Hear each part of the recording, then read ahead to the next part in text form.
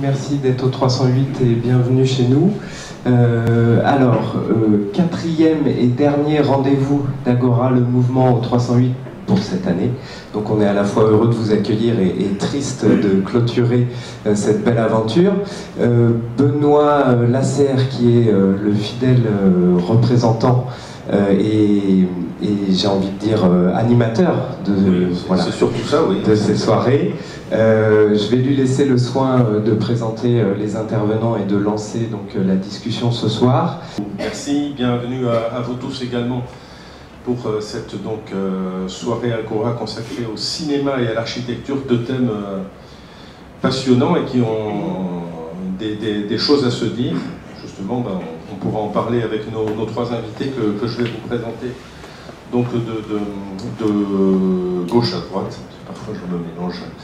Euh, donc Christian Barani, bonsoir. Euh, donc vous êtes euh, cinéaste. Les Bordelais se souviennent sans doute de vous parce que vous aviez participé à la Biennale Agora de 2012, donc, qui avait pour thème héritage et hérésie. Et donc c'était vos films qui étaient présentés, des films sur plusieurs villes. Et donc là on est en plein dans, le sujet sur justement l'architecture et les, supports audiovisuels qui peuvent parler d'architecture. Euh, Pierre Bourdaro, bonsoir. Donc, vous êtes enseignant à l'université Bordeaux-Montaigne et euh, donc vous avez euh, réfléchi sur le, thème cinéma et architecture avec un, titre qui évidemment évoquera des choses pour ceux qui écoutent les Rolling Stones avec sympathie pour le diable. Donc vous nous direz justement si c'est évidemment une référence au, groupe, enfin je suppose qu'il n'y a pas que ça, mais vous allez nous en parler plus tard. Et puis donc Sébastien Jounel, bonsoir. Vous, êtes programmateur au Festival indépendant du film euh, de Bordeaux, qui en était, je crois, sa quatrième, cinquième édition. Oh là là, déjà j'ai du retard. Euh, donc maintenant qui est évidemment un, festival euh, bien enraciné à Bordeaux, qui, a, qui, connaît son beau succès maintenant. Euh, de, public et puis de, programmation également. Hein. donc euh, on aura l'occasion d'en parler. Vous êtes également euh, enseignant et puis conférencier à droite, à gauche, à travers, voilà, un peu partout, et justement pour parler du thème qui nous intéresse ce soir, du, cinéma et de l'architecture. On va commencer avec vous, Christian Barani. vous avez un micro? Oui, oui, vous avez un micro. Euh, vous travaillez à la fois sur euh, l'architecture, le cinéma, la, vidéo. Euh, comment est-ce que vous en êtes venu à vous intéresser justement à ces, ce, support et puis à, filmer l'architecture, si, je puis dire, filmer l'architecture et les paysages? En fait, à l'architecture, c'est un peu par, hasard, par, par on va dire, des situations simplement parce que mon frère est architecte. Oui, on va signaler que vous êtes le frère de Marc Barani, qui était également le commissaire de l'exposition euh, Agora 2012. En fait, la, question de l'architecture, elle a commencé par, euh, par un désir euh, commun de, travailler à un moment donné de, notre, de notre vie, à travailler ensemble. Et le, premier, le, premier travail en commun qu'on a fait, c'était je devais faire un film sur euh, euh, une station de tram qu'il avait euh, construit à Nice. Il m'avait demandé si, voilà, si je voulais faire un film sur, sur son travail.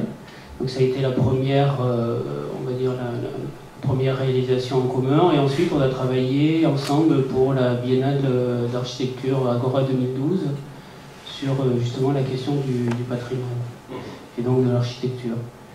Euh, mais en fait, moi, je travaille parce que j'ai, on va dire, pour être un peu, j'ai, deux casquettes. Une première casquette avec des œuvres de commande où je, voilà, je, réponds à des questions pour des musées, des centres d'art, des choses comme ça. Mais en même temps, j'ai un travail personnel, artistique, où là, euh, plus globalement, c'est la question de la ville qui, euh, qui m'intéresse et je, voilà, je pratique des euh, des dérives, ce qu'on appelle des dérives euh, euh, dans, les villes, où j'ai un protocole particulier que j'applique aussi dans mes œuvres de commande, qui est que je n'écris jamais de scénario, et puis je, pratique la marche. En fait. et vous filmez directement, c'est-à-dire vous ne, vous ne faites pas de, dire, de deuxième prise, quoi. C'est la, la première prise qui est la bonne, un peu, c'est ça euh Oui, oui, c'est-à-dire que, en fait, euh, lorsque je travaille, en fait, ce processus-là, il est fait pour justement questionner un petit peu le processus de production des images. Voilà. C'est-à-dire que théoriquement, lorsqu'on doit faire un film, on doit écrire un, scénario, on doit le soumettre euh, soit à une production, soit au CNC, euh, etc. On doit attendre deux ans, on doit réécrire parce qu'on n'écrit jamais assez bien. Euh. voilà, il y a tout un protocole comme ça qui ne me correspondait absolument pas. Et, puis, dans, les années 90, en fait, je me suis intéressé à la vidéo parce que c'était un, objet beaucoup plus souple et, libre que, que, les cinémas, où il n'y avait pas de hiérarchie. C'est à ce moment-là que sortaient les petites caméras DV. Et là, je me suis dit, plutôt que d'attendre deux ans euh, éventuellement pour faire un film, je prends ma caméra et, voilà. Et donc, euh, sur, sur, ce principe de liberté, j'ai euh, greffé en fait un, je me suis intéressé à, ce que les situationnistes, par exemple, posaient comme question autour de, de, la question de la dérive, et comment on arpente les villes, et comment on découvre les villes, et donc comment on représente les villes. Voilà. Donc euh, à chaque fois dans mes travaux, je, pratique la marche, euh, c'est-à-dire je marche chaque jour 8 à 10 heures par jour. Ah oui? Oui, je fais 20 à 25 km. Et, en fait, je, pars d'un point et puis je ne sais pas du tout ce qui va s'opérer. Euh. Mais c'est-à-dire que par exemple, vous, alors par, rapport à d'autres cinéastes plus, dire peut-être plus traditionnels, pardon pour, l'expression, vous, ne faites pas de repérage par exemple, vous vous, n'allez pas dans une ville d'abord pour voir ce que vous pourriez filmer, non, c'est euh, vous, vous arrivez à la limite dans une ville inconnue et hop, vous euh, vous, fiez quoi À votre instinct, à votre, à votre envie, votre... Alors, il y, a, il y, a, deux phases. Il y a, il y a, une phase de travail, c'est-à-dire qu'avant de faire un film, euh, je travaille beaucoup sur, sur évidemment le sujet, qu'il soit politique, historique, culturel tout, ce qui constitue euh, euh, une appréhension de la culture, mais je, ne, je ne fais aucun repérage. Voilà. Et en fait, je travaille l'improvisation.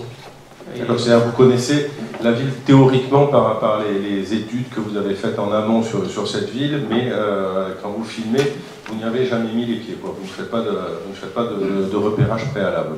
Oui, exactement. exactement. Et donc, en fait, parce que moi, ce qui m'intéresse, c'est euh, cette espèce de, tension euh, qu'il y a, cette espèce d'énergie que l'on doit mettre pour produire une image. Euh, cette, notion de confiance, de risque, enfin, c'est tous les éléments qui font qu'une image peut naître.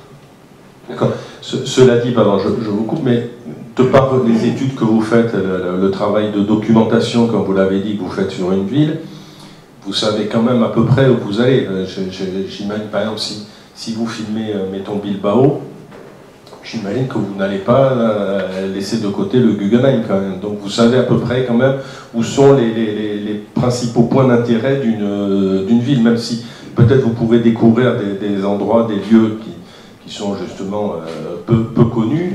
voilà, dans, une ville, vous connaissez quand même les, sites historiques, les, endroits qui sont fréquentés, etc. Vous connaissez quand même un peu la ville euh, que vous allez filmer.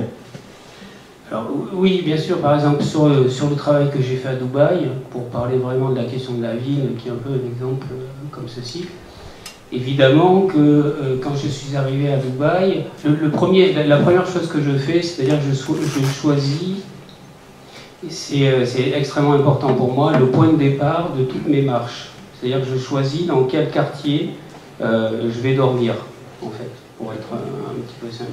Par exemple, à Dubaï, comme je voulais travailler sur les, sur les ouvriers euh, qui construisent euh, la ville, en fait, j'ai choisi le, quartier ouvrier, qui est le quartier de Deira, qui est le quartier historique hmm.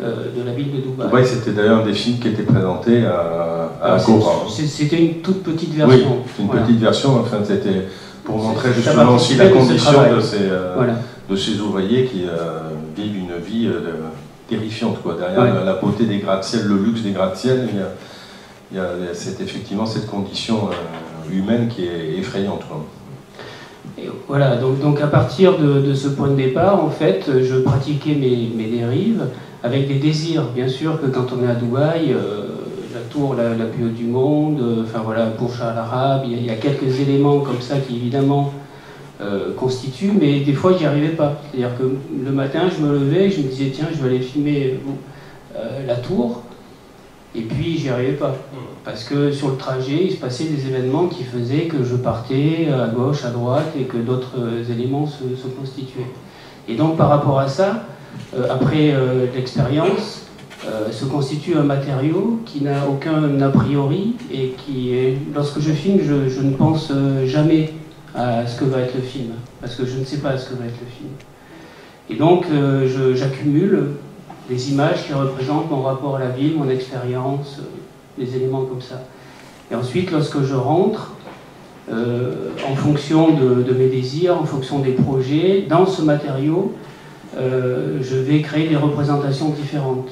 C'est-à-dire que je peux faire... À Dubaï, il y a eu quatre formes totalement différentes. Il y a eu une première installation vidéo, exposition. C'est un film déployé dans l'espace où j'avais à peu près 3h50 de, matière. Et là, c'est le visiteur qui circule dans l'espace, qui fait son propre montage. montage pardon. Ensuite, j'ai produit euh, un film d'une heure qui s'appelle My Dubai Life. Euh, ensuite, euh, j'ai produit une performance. et puis une autre, un autre quatrième film. Et en fait, que j'ai envie de, questionner au travers de ça, c'est justement la, question de, euh, de la sacro-sainte différence entre documentaire et fiction, entre l'objectivité et la subjectivité, pour faire euh, simple. Et en fait, en, proposant des formes différentes, euh, j'essaie de dire simplement qu'il n'y a pas de. que, qu'il n'y a pas. que représenter une ville est un objet impossible, en fait. Voilà. Pour, euh, Et alors, à, Dubaï, par exemple, vous, vous ne faisiez ça qu'en marchant? Oui. Mais parce que c'est gigantesque, Dubaï, non euh? Oui, mais justement, c'est ça qui m'a intéressé, parce que c'était un commissaire d'art qui s'appelle Olivier Marbeuf, qui a un centre d'art qui s'appelle Kiasma, les Lilas, et il montait l'exposition qui s'appelait Manifeste pour des villes invisibles. Et euh, en fait, il m'a dit, euh, il connaissait mon travail, puis il me dit, Christian, est-ce que ça t'intéresserait euh, d'aller filmer à Dubaï? Au départ, je lui dis, Dubaï, ça m'emmerde un peu, je ne vois pas ce que je peux y faire. Puis j'ai quand même regardé un peu, et puis je me suis aperçu que c'était justement une ville flue et que personne ne marchait. Et là, je me suis dit, ben voilà, là c'est intéressant justement d'aller confronter un corps dans une ville qui est conçue pour le flux, en mmh. fait. Voilà. Donc, vous venez de le dire pour Dubaï, il, vous arrive quand même d'avoir un a priori euh, sur, des villes quand même. Euh, vous avez forcément, voilà, Dubaï, c'est quoi Parce que Dubaï, c'était. Euh, qu'est-ce qui vous.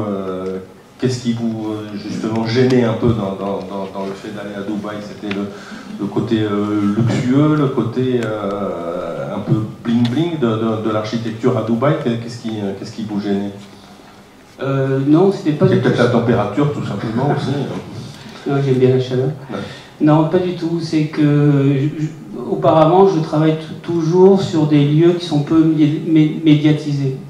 C'est-à-dire que j'ai travaillé sur une durée de 10 ans sur le Kazakhstan, euh, sur le Népal, sur euh, la Namibie, sur enfin, voilà, des, pays où on a très peu de représentation. Et euh, voilà, je me disais, qu'est-ce que je peux faire de plus euh, sur une ville comme Dubaï, qui est déjà une ville image. mille fois montrée, quoi. Et surtout qui est déjà une ville image. Oui, c'est ça. Et c'est-à-dire que Dubaï existe parce que c'est une image. C'est pas de l'architecture, c'est une image. Donc voilà, donc c'est pour ça qu'au départ j'étais plutôt euh, réticent à cette, à cette expérience parce que c'était une ville qui était extrêmement médiatisée. Hum.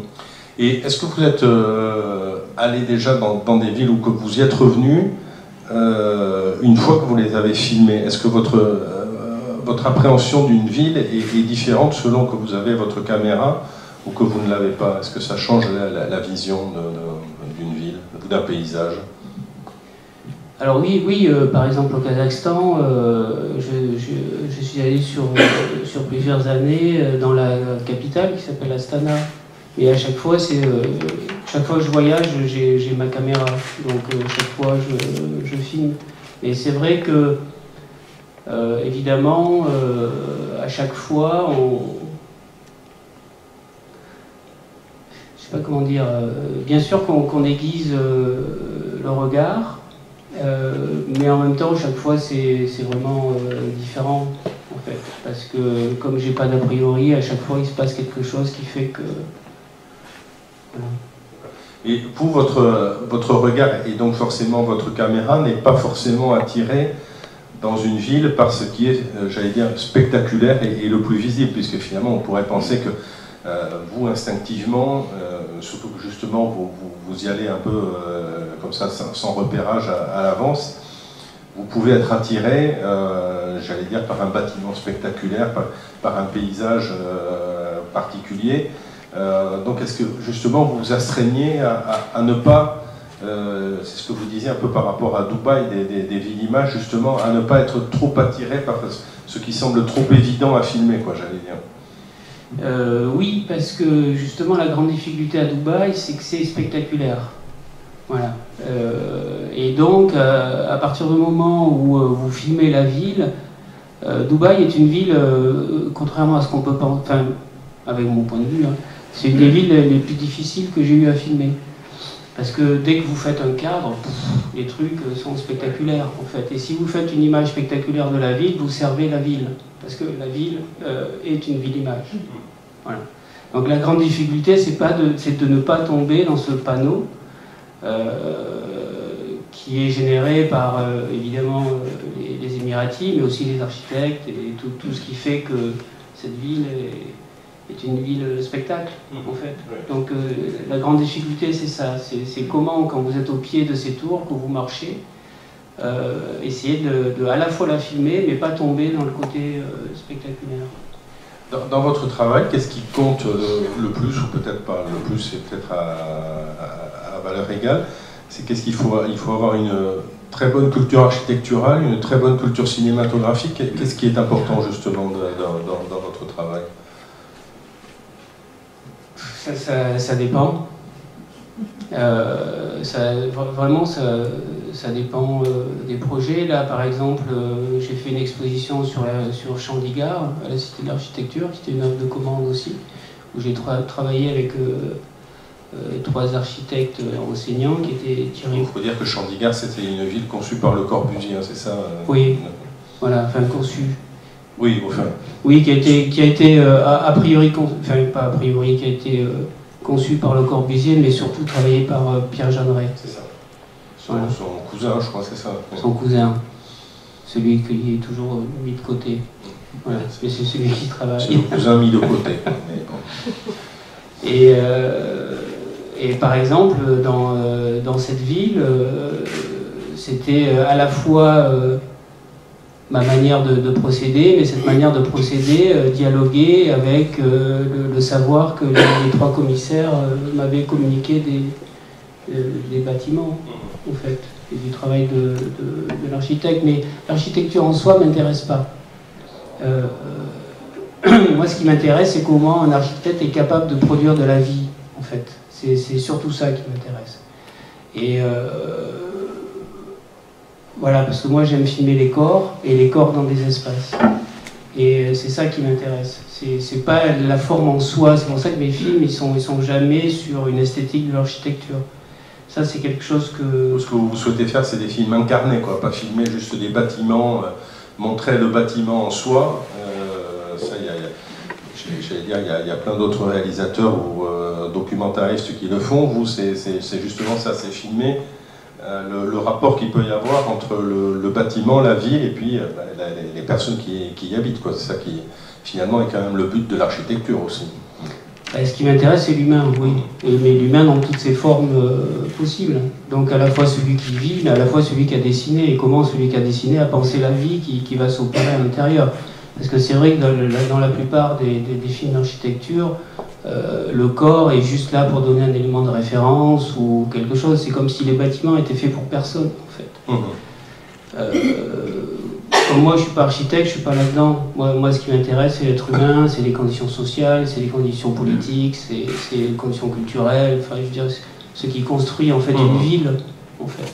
Mais alors, vous avez parlé, c'est évidemment de, votre frère, Marc Barani, qui est un, un des architectes maintenant les plus euh, connus de France, justement, vous, vous, euh, en parlez, vous, de, votre travail avec lui. Il y, a, comment ça, il y a une interaction sur, justement par rapport à son travail. Est-ce que son travail vous est utile, vous, par, par rapport à la façon dont vous filmez et vice-versa? Est-ce que lui se sert aussi peut-être de, votre regard sur l'architecture et les paysages pour, dans, son travail?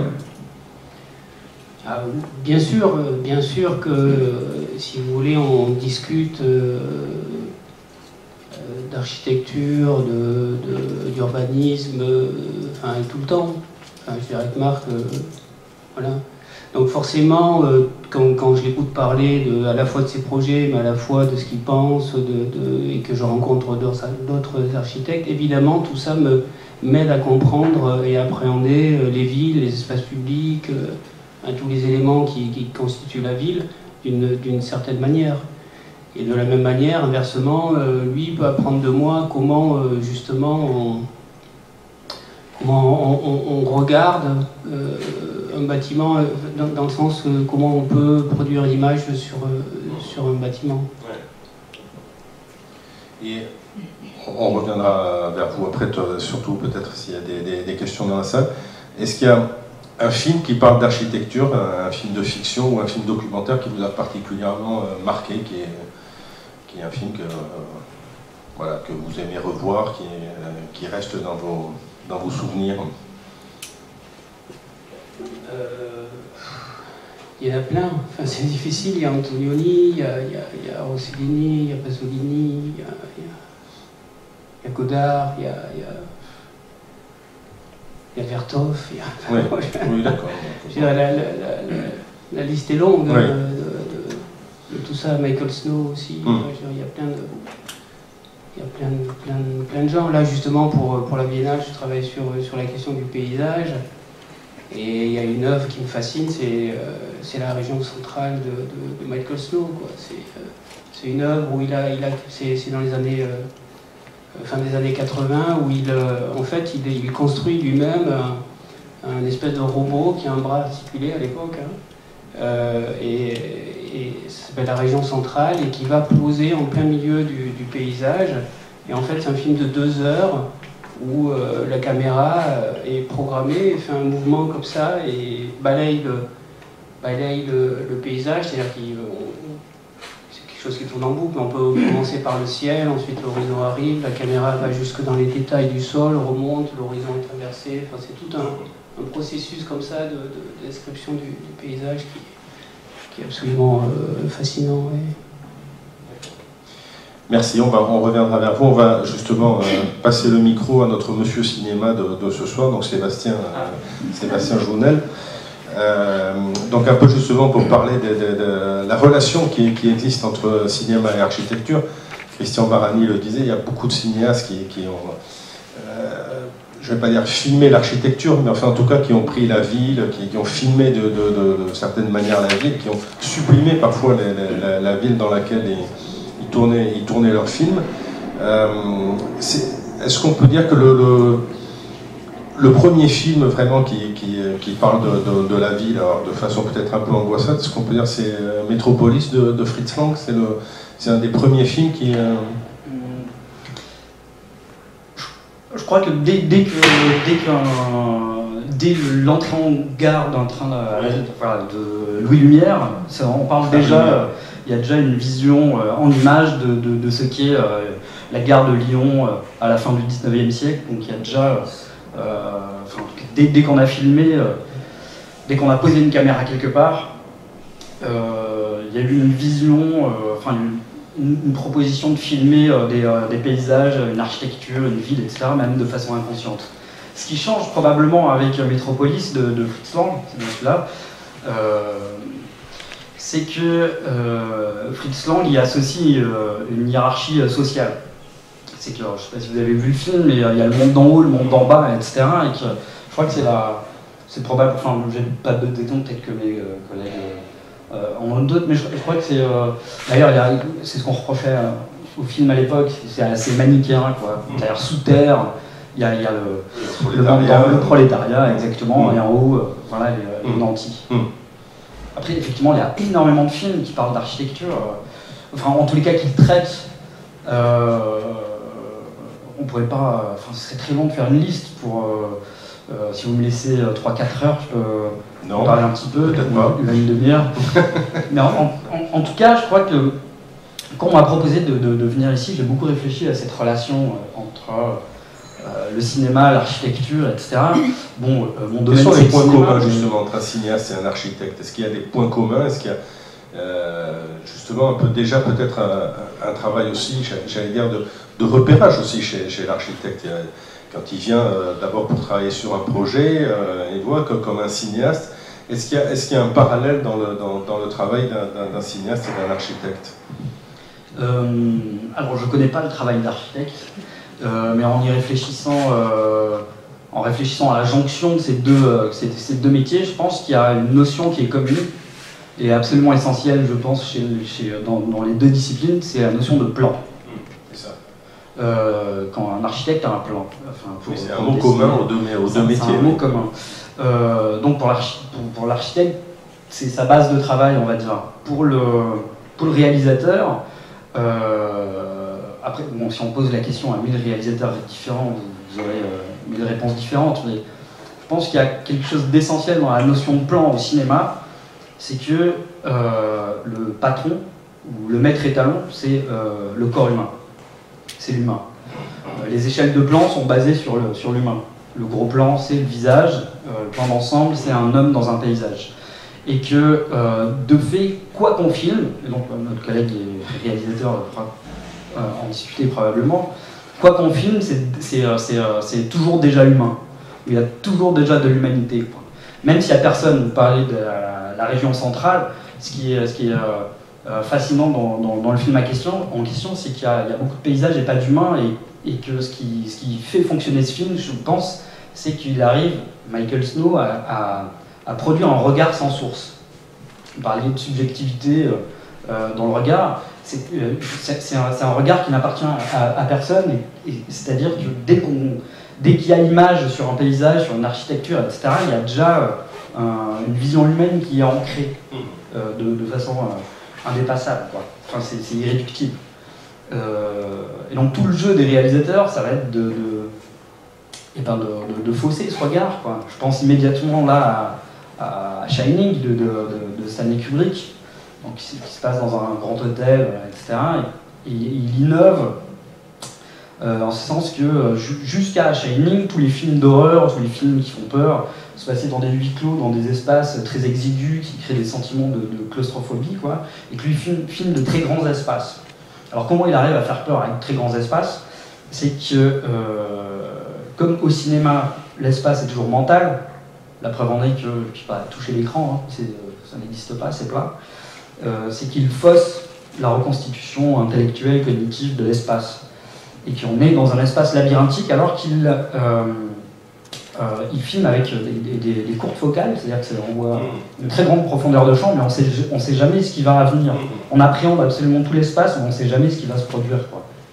Il nous perd avec ça. Et il nous fait peur avec ça. je sais plus où je vais en venir. C'était quoi la question? Non, c'était les rapports entre le, rapport qu'il y a, mais vous parliez des plans justement, du fait qu'entre un architecte et un cinéaste, effectivement, il y, a, il y, un mot qui est en commun, qui est le plan, quoi. Donc euh, voilà. Euh, oui, je, après, je crois que, enfin, de fait, le cinéma est toujours plus humain, quoi. après, je prends ma paroisse, quoi. C'est-à-dire que euh, l'architecture impose des trajectoires. Je crois que c'est-à-dire que si, je fais une route ou si je fais, euh, enfin, je sais pas, un trottoir, il y a un point A, un point B que, je vais, euh, euh, que je vais prendre de façon parfaitement inconsciente, et que le cinéma propose toujours des, chemins de traverse, quoi. Parce qu'il ancre l'être humain là-dedans. Et je crois que toutes les architectures, enfin, filmées sans aucun doute, chaque fois qu'on impose une trajectoire, l'humain trouve des chemins de traverse. donc il n'y a pas de plan chez l'être humain.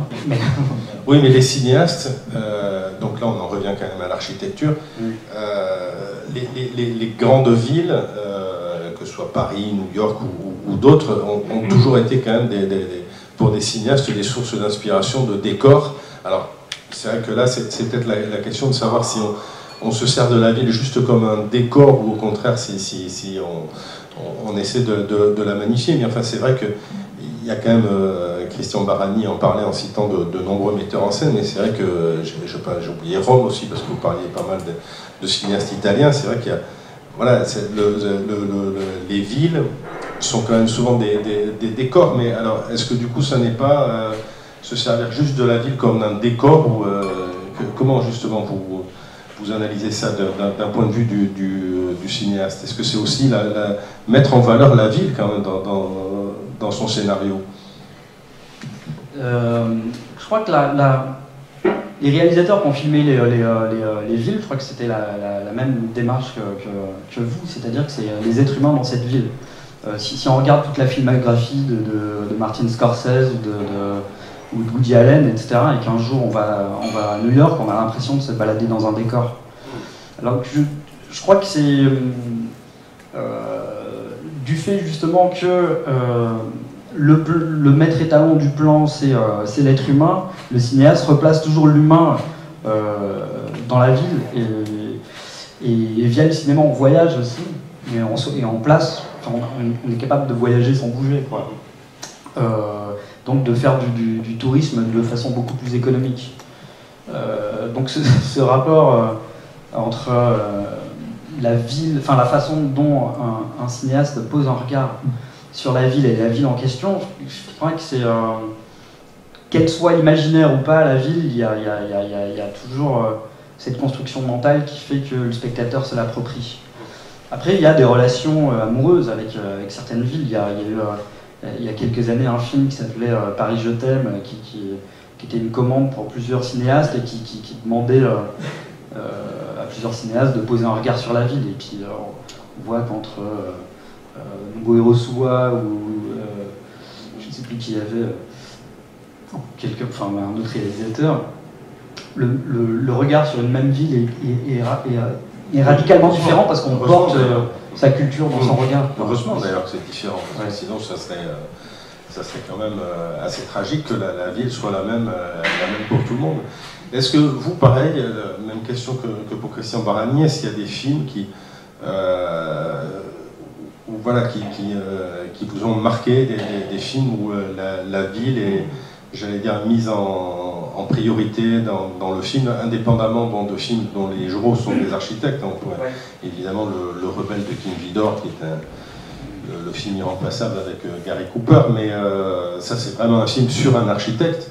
Mais euh, indépendamment de ça, justement, on, parlait de New York, c'est vrai que c'est difficile de parler de New York sans évoquer Woody Allen ou, Martin Scorsese. Rome sans parler de, de, Fellini, et puis Paris, il y a quand même beaucoup de films qui ont été tournés aussi qui, qui mettent en valeur Paris, Los Angeles, il y, a, plein de films comme ça qui... Donc ça, c'est... Euh, quels sont, vous, les, films, puisque vous êtes un, spécialiste de cinéma qui, qui vous ont euh, captivé euh? Bon, là aussi la liste peut être longue. Bon, ouais, Dziga Vertov avec L'homme à la caméra, par exemple. Jean Vigo, à propos de Nice. Hmm. Ça pour les villes.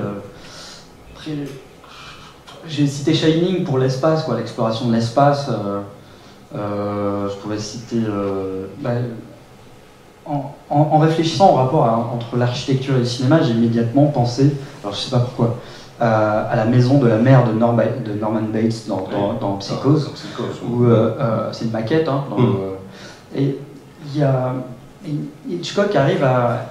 Tout le monde a vu le film, je suppose. Elle est vraiment au haut d'une colline pour ceux qui ne l'ont pas vu, on ne racontera pas la fin. Hein, euh. Oui, la mère n'est pas morte.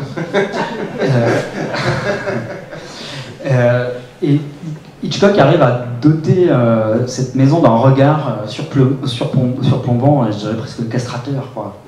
Ça, ça, ça, c'est ultra impressionnant.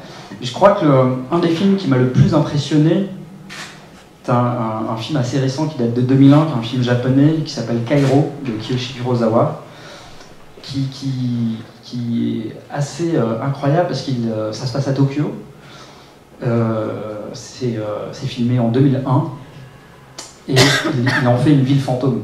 Il a fait une ghost town, il a fait une ville totalement déserte. Alors je sais absolument pas comment il a fait pour faire de Tokyo une ville déserte, ce, qui est, assez, ce, qui est, assez, incroyable. Et si vous n'avez pas vu le film, je vous le conseille vers la fin du film, quand sa mère n'est pas morte, c'est un film de fantôme en fait. Où les gens disparaissent comme ça, il y a une, espèce de virus internet qui contamine les vivants, et puis les, fantômes se réapproprient la place des vivants, et puis emmènent les, vivants dans, une espèce de, zone morte comme ça. Et donc à la fin du film, il y a des personnages principaux qui s'en vont en voiture et on voit euh, la ville Tokyo donc à travers le pare-brise, euh, comme un spectateur devant son écran ou devant un écran quel qu'il soit. Et euh, j'ai pas vu ce film pendant quelques temps et quand j'ai vu les images de Fukushima, j'ai eu l'impression d'avoir un flashback, quoi, d'avoir déjà vu, d'avoir déjà vu ça. Et, j'en reviens à cette idée que au cinéma, quand on filme l'espace, une ville, etc., il y a toujours de l'humanité dedans. Y a, euh, on est euh, toujours humain. Enfin, il y a toujours de l'humanité. Dès qu'on filme, ou un regard humain en tous les cas, dès qu'on filme, qu'on prend en photographie un espace vide, on a immédiatement euh, l'illusion de quelque chose de post-apocalyptique. Quoi. Parce il manque, il manque de l'humain et on a envie toujours de positionner de l'humain dedans, ou en tout cas d'avoir un regard ou un point de vue subjectif humain. et donc, je fais le rapport de Kairo de Kiyoshi Kurosawa avec euh, un travail d'un probablement un des premiers photographes euh, qui s'appelait euh, Eugène Adjet, qui, a, qui, a, une commande de la mairie de Paris pour topographier, enfin, topographie Paris. À l'époque, ce pas encore les appareils photo tels qu'on les connaît, c'est des daguerréotypes, où le temps de pause est excessivement long. ce qui fait que, donc, il prend en photo, enfin, il fixe une image, mais dès qu'il y a du mouvement, ça, crée des figures floues. Et, donc on a euh, l'impression d'une ville fantôme alors qu'elle est, euh, euh, ultra peuplée. C'est ça qui Et donc j'en viens à peut-être le, film qui. Qu'est-ce qu'on peut appeler ça un film Qui m'a le plus touché dans le rapport de l'image en mouvement en tous les cas et de l'architecture sont les images qu'on a tous vues des attentats du 11 septembre. Euh, parce que euh, j'ai eu l'impression euh, d'avoir déjà vu ces images dans, les films catastrophes américains des années auparavant. Mm. je crois que la première fois, peut-être la première fois où, la, réalité fait un remake de la fiction, quoi.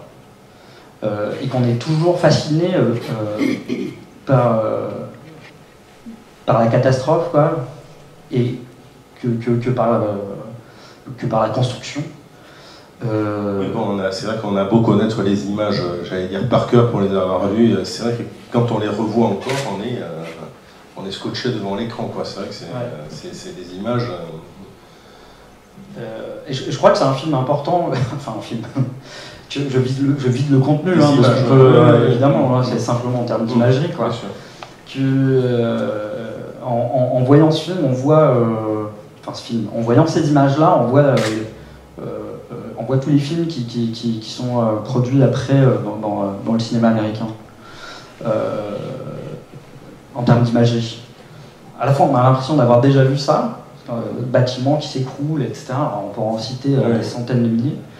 et à la fois, on voit comment, représente, comment l'Amérique représente la catastrophe dans, dans, le cinéma contemporain, quoi, mm. en termes d'imagerie. Et qu'on peut, on, peut regarder autant euh, la guerre des mondes de, Spielberg que, Batman The Dark Knight ou de, mm. des choses comme ça. On, voit, on voit des images qui. qui euh, oui, c'est vrai que ça a forcément influencé après tous les, tous les films qui, euh, qui évoquent ce, genre de, héros maléfiques. Mm. Voilà, c'est forcément le 11 septembre à, et, marqué à tout jamais. Il n'y a pas d'ennemis mm. représentés, en quelque sorte. Simplement, comment représenter la catastrophe C'est simplement en montrant un bâtiment tombé. Quoi.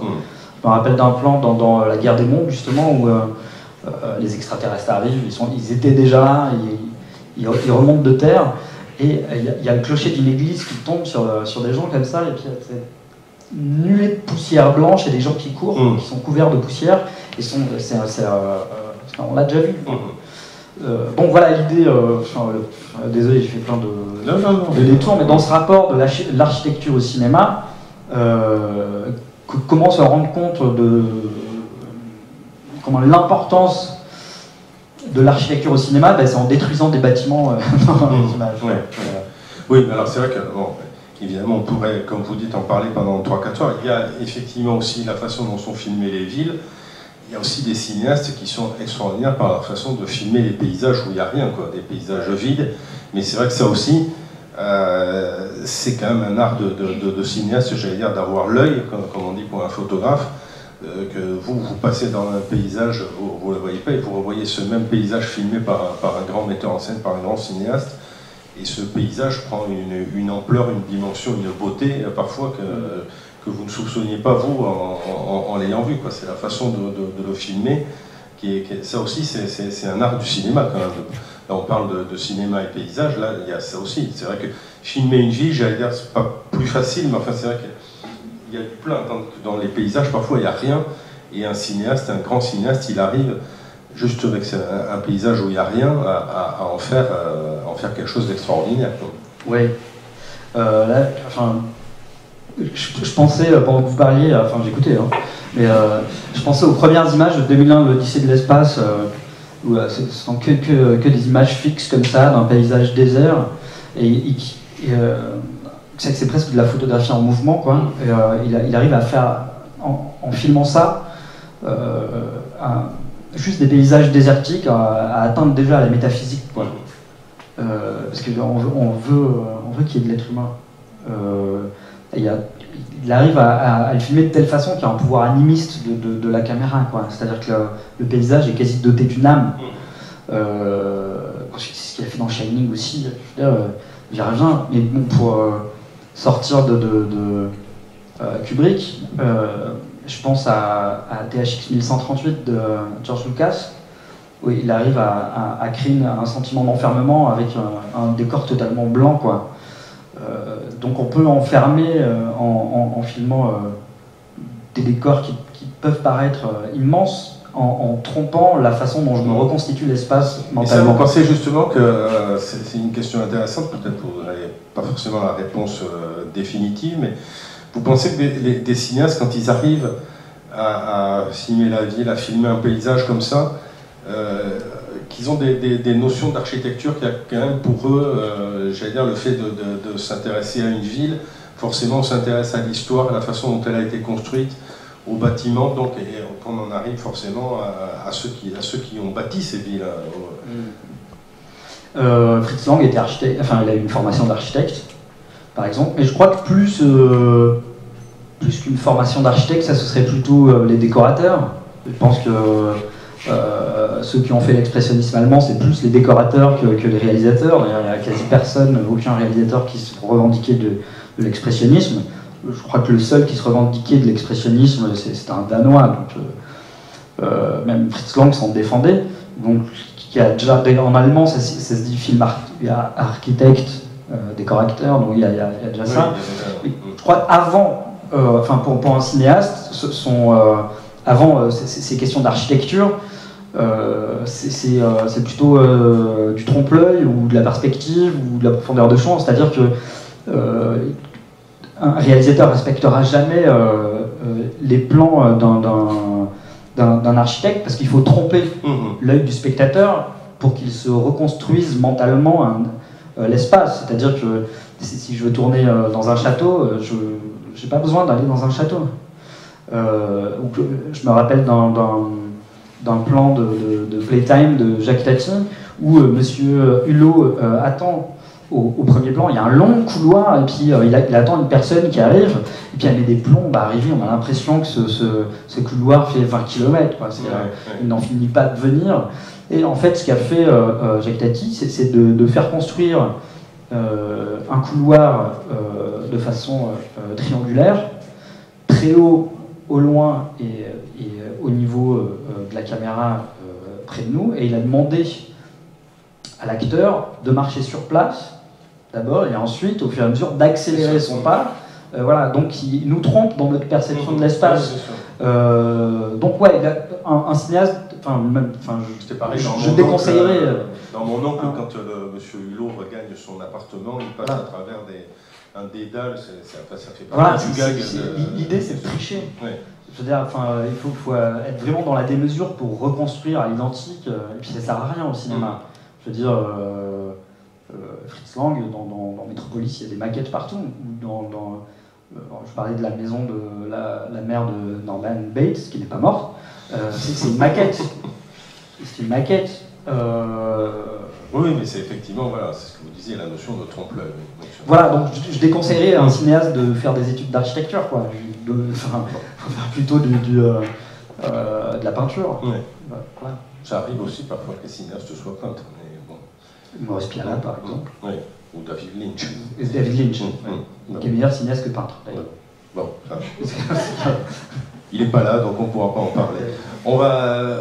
Merci euh, Sébastien Jonard, on va en venir avec vous, donc euh, Pierre Bondaro. Donc, euh, d'abord, alors vous allez m'expliquer ce qu'est l'archi-cinéma. C'était le, titre de, de, votre thèse. Alors, c'est quoi l'archi-cinéma C'est la un mot valise fait à partir d'architecture et, cinéma, c'est ça? C'est ça, exactement. D'accord. C'est la combinaison des deux, l'hybridation des deux disciplines, en fait. Donc l'archi-cinéma, le titre de ma thèse, très exactement, c'est archi-cinéma et fiction d'architecture, sympathie pour le diable. D'accord. Tout à l'heure, c'est le sous-titre.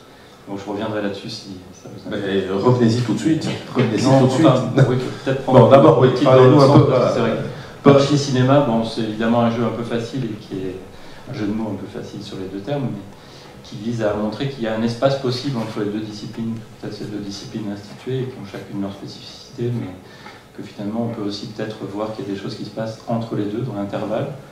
Donc mon idée c'était de, travailler Par rapport, pardon, je, je, vous redonne la parole, mais ce que disait Sébastien Journel, c'est ça, c'est quand même, il y a au moins un point commun, c'est que euh, les, architectes et les cinéastes se travaillent, à, c'est le mot commun qui est, qui est dans leurs deux travaux, c'est dans leurs deux métiers, c'est le plan. Quoi. Il, y a, ça qui, compte aussi quand même. oui, oui, oui, alors c'est vrai que le vocabulaire est riche de.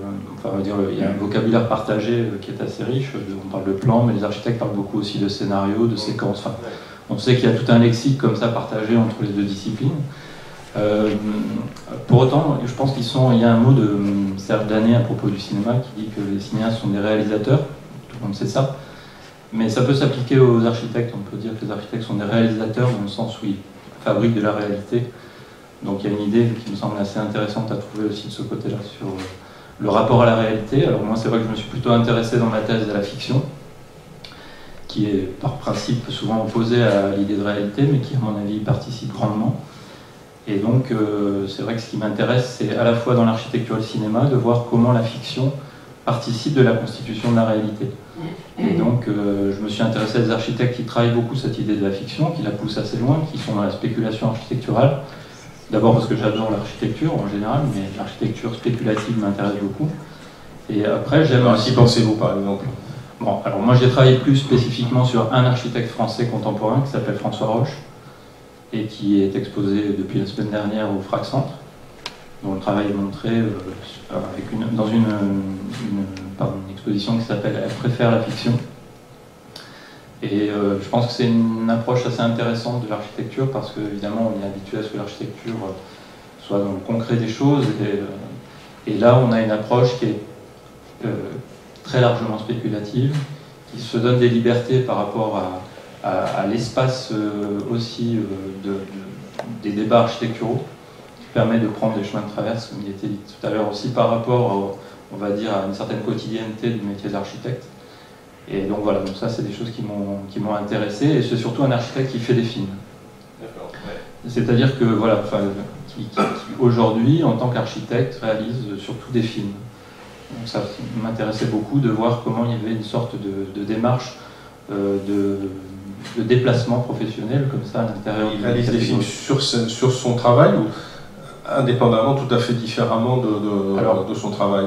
Non, non, c'est lié à son travail, c'est-à-dire son, ses spéculations architecturales, je pourrais en parler plus en détail ensuite, mais euh, reposent sur des, procédés de conception, de production, de fabrication d'architecture qui pour l'instant, on va dire, n'ont pas de viabilité, et, donc il se sert de la fiction du film pour euh, montrer ce que pourraient être ces procédés constructifs ou ces procédés... Euh, enfin, ces formes de conception de la ville, par exemple. Et donc le, film est au service de son architecture. Il y a une sorte de. Euh, le, film crée un cadre diégétique avec un récit qui permet en fait d'élaborer des hypothèses architecturales. Comme ça qu'il aborde son travail. Et vous, euh, de, votre côté, vous, vous diriez quoi que vous venez plus du cinéma ou de l'architecture Comment est-ce que vous en êtes arrivé à, concilier, les, concilier les deux? Bah, Peut-être parce que je ne suis ni architecte ni cinéaste. En fait, euh, les deux m'intéressent. Enfin, je suis enseignant en design, donc j'ai enseigné le design. Donc je suis dans une discipline qui est quand même, euh, on va dire, historiquement assez proche de la question de l'architecture. J'ai travaillé avec des architectes. Et donc j'ai toujours eu plaisir à, parler de l'architecture dans, dans, mon métier d'enseignant en design, bien sûr. Mais c'est vrai aussi très vite que par ailleurs, j'ai une curiosité euh, assez grande pour le cinéma dans, dans toutes ses formes. un cinéphile quand même ou... Un cinéphile, oui, on peut le dire comme ça, un cinéphage. cinéphage, aussi. Euh, L'idée de l'archi-ciné, de l'archi-cinéma, c'est vrai que c'est euh, de montrer aussi que le cinéma, de mon point de vue, a une ampleur aujourd'hui considérable. Le cinéma n'a jamais été aussi important comme art dans sa diversité, dans sa pluralité, dans sa diffusion, pas forcément après dans, dans, spécialiste ici qui pourra en parler mieux que moi au niveau de, l'économie du cinéma, mais ce qui m'intéresse dans le cinéma aujourd'hui, oui, c'est le, caractère extrêmement étendu de cette pratique, qui va, euh, comme l'a dit Christian également aussi, ben, des pratiques de vidéastes, des pratiques du cinéma expérimental, des films en salle, ce qui est, on va dire, la partie la plus connue du cinéma pour, le grand public, parce que c'est là où on va voir des films, mais évidemment, il y a aussi euh, les cahiers du cinéma ce mois-ci font euh, leur, euh, numéro sur la création vidéo et en ligne sur Internet, donc explore finalement l'inventivité du support numérique et, du réseau Internet au niveau de la création cinématographique. Donc je pense voilà, que le, cinéma est devenu un espace culturel gigantesque et, qui, absorbe presque les autres disciplines mmh. de mon point de vue artistique on pourra parler de ça aussi, mais je pense qu'il y a. Enfin, qui, en tout cas influence, qui, qui influence nettement. Euh, c'est aujourd'hui. Oui. D'accord.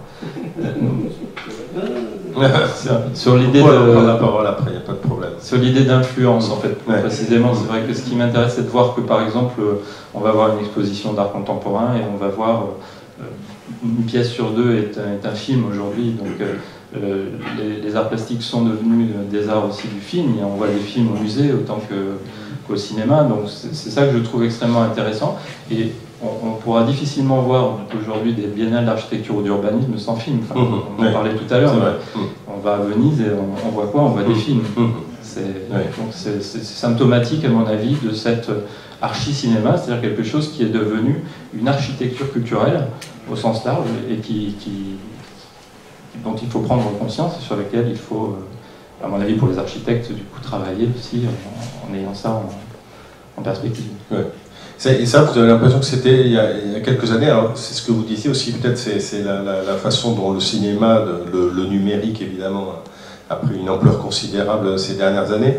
Ça permet plus facilement justement de, faire des films euh, sur, l'architecture, c'est un peu ce que disait Christian Barani, ben, un matériau beaucoup plus souple. Euh, voilà, c'est plus simple aujourd'hui d'utiliser euh, un, appareil numérique, c'est beaucoup plus léger, beaucoup plus compact, donc, euh, et, pas, moins, pas moins précis que. Il y, a, il, y a, caméra, il y a bien sûr une légèreté, je mm. pense, de l'outil à tous les niveaux qui, qui, a, qui a, permis peut-être une diversité des pratiques. les gens font des films avec leur webcam et se mettent sur YouTube. Donc, enfin, il y a une sorte de, de, rapidité du, du, cycle de fabrication-diffusion qui est, évidemment pas la même qu'il y a 40 euh, ans ou 50 ans. Mais, après, euh, par ailleurs, c'est vrai que ce qui, ce qui me semble intéressant, c'est que euh, toujours sur. moi, ma thèse dans l'architecture hein, est située du côté quand même de l'architecture, mais pour parler de, des rapports architecture et cinéma, ce qui est assez symptomatique, c'est que beaucoup d'écoles d'architecture, de lieux d'enseignement de transmission d'architecture, intègrent aujourd'hui des ateliers vidéo, intègrent des ateliers de, travail sur l'image en mouvement. J'ai appris tout à l'heure que Christian avait enseigné à l'ANSI. Et euh, en design, c'est absolument pareil. C'est-à-dire qu'il y, a aussi dans la, pédagogie de ces disciplines-là une nécessité de penser le rapport à l'image en mouvement et qui, a du sens aujourd'hui dans. Est-ce que vous pensez justement aussi que euh, pour des étudiants en architecture, vous, vous diriez que euh, il y aurait une liste de films conseillés ou obligatoires même, pourquoi pas, à, voir justement dans pour, pour, des gens qui veulent devenir architectes, que, ce sont des films, on en parlait avec euh, Sébastien Jounel, il y, a, il y a des très grands films, et ce sont des films qui, qui participent à la, à la construction intellectuelle d'un architecte, à son apprentissage, de, à l'apprentissage de son métier. Oui, mais comme ça a été déjà dit tout à l'heure, c'est vrai qu'il y en a tellement que c'est difficile de faire un choix pertinent. Mais, hein. Non, mais j'ai une idée pour répondre à votre question, c'est que en fait, déjà cette thèse, je l'ai conduite sous la direction d'un urbaniste et philosophe de l'urbain qui s'appelle Thierry Paco. Et Thierry Paco donc, a, publié en 2005 une encyclopédie de la ville au cinéma, qui est en fait un, livre qui est publié par les Cahiers du cinéma, et avec Thierry Jousse euh, des Cahiers du cinéma. Et donc tous les deux, ils ont conçu cette encyclopédie comme une invitation euh, faite à, tous les amoureux et de la ville et du cinéma. Donc euh, l'encyclopédie, c'est une pirouette, mais elle contient, on va dire, déjà une, somme considérable de, de films qui qui parlent de la ville, de films qui parlent d'architecture. Et, euh, donc il y, a, des thématiques, il y a des entrées thématiques, il y a des entrées euh, par ville. Euh, mhm. et on peut faire plusieurs voyages finalement à l'intérieur de cet ouvrage et, découvrir comme ça des, sommes considérables de, films. Oui, il faut voir des films qu'on n'avait peut-être pas vus sous cet angle-là, où, on était pris par l'histoire et puis on en oublie parfois le, décor, alors que le, décor est, évidemment essentiel. Le, même film ne pourrait pas se passer dans une autre ville, quoi, forcément. Mm. Après, mon, sujet ou mon travail était plutôt, euh, parce qu'on parle souvent effectivement de la représentation de l'espace et de l'architecture au cinéma, mais ce qui m'a semblé intéressant quand j'ai abordé mon, sujet de recherche, c'était de travailler sur la façon dont l'architecture est aussi une représentation et, peut être une représentation du cinéma. On peut inverser la perspective, essayer de comprendre en quoi euh, l'architecture est, est, un média. Enfin, c'est une historienne de l'architecture, euh, Béatrice Colombina, aux États-Unis, qui a travaillé là-dessus et qui a fait son étude, qui a porté son étude sur le Corbusier et Adolphe Loos au début du siècle, en montrant déjà comment l'architecture moderne était déjà une architecture média. Donc, c'est-à-dire en essayant de montrer comment dans le travail de Le Corbusier, par exemple, il y a un souci assez extraordinaire de l'image, à tous les niveaux, y compris dans la représentation et la médiation qu'il donnait lui-même de son architecture. Donc ça, ça me semble très intéressant. Tout ici, je pense, entendu parler de Bernard Choumi et de la façon dont Choumi, dans la fin des années 70, dans les années 80, a, pris le script euh, cinématographique comme une base du projet architectural. Avec Paperless Studio, donc tout son travail justement sur là aussi la, spéculation et puis euh, cette idée de, fiction au service de l'architecture, mais ça, va même plus loin parce que ça me permet de rebondir un peu sur l'exemple que vous donniez tout à l'heure, c'est-à-dire cette image des tours jumelles euh, qui explosent en, 2001. Au moment de, l'attentat, on a entendu parler après de l'architecte brièvement de ces tours, qui est un architecte japonais et qui était euh, euh, célèbre parce que c'est déjà l'architecte dont un bâtiment avait été détruit en 1972, les immeubles de, de Pruitigoé, et ces immeubles avaient été détruits parce qu'ils étaient le symbole du mouvement moderne et que le mouvement moderne avait atteint là, on va dire, son, son absurdité absolue. Et, donc, euh, l'architecture de cet architecte avait été, euh, on pourrait dire, euh, repérée comme étant le, symbole du début du postmodernisme, le début de tout un courant autour du déconstructivisme, par exemple. C'est-à-dire que le déconstructivisme, par exemple architectural, il est parti d'une idée très cinématographique qui est celle qu'on trouve chez Antonioni euh, à la fin de Zabriskie Point, c'est-à-dire on, explose une architecture, cette architecture éclate littéralement, mais finalement elle éclate au ralenti, et par le ralenti, plusieurs fois en plus, et par ce ralenti, finalement, la violence extrême du geste devient d'une beauté euh, suprême. Il y a une sorte de... Et, je pense que donc toute une, euh, on va dire une, une actualité de l'architecture aujourd'hui dépend de ces sortes de mouvements et, de gestes un peu radicaux comme ça, lors l'explosion en 72 à Prutigoé euh, volontaire, on a détruit l'immeuble pour dire on passe à autre chose, et évidemment euh, un peu différent dans le cas des, attentats de, 2001, mais ces images très fortes, c'est vrai qu'à mon avis, elles sont intéressantes, au-delà évidemment du drame humain, mais elles sont intéressantes du point de vue de, de ce qui se passe dans l'architecture. C'est comment l'architecture aussi et la stabilisation d'un mouvement.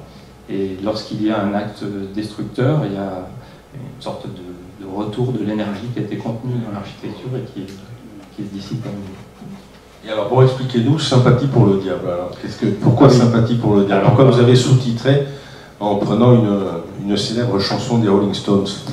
Eh bien oui, bon, l'allusion était effectivement celle-ci.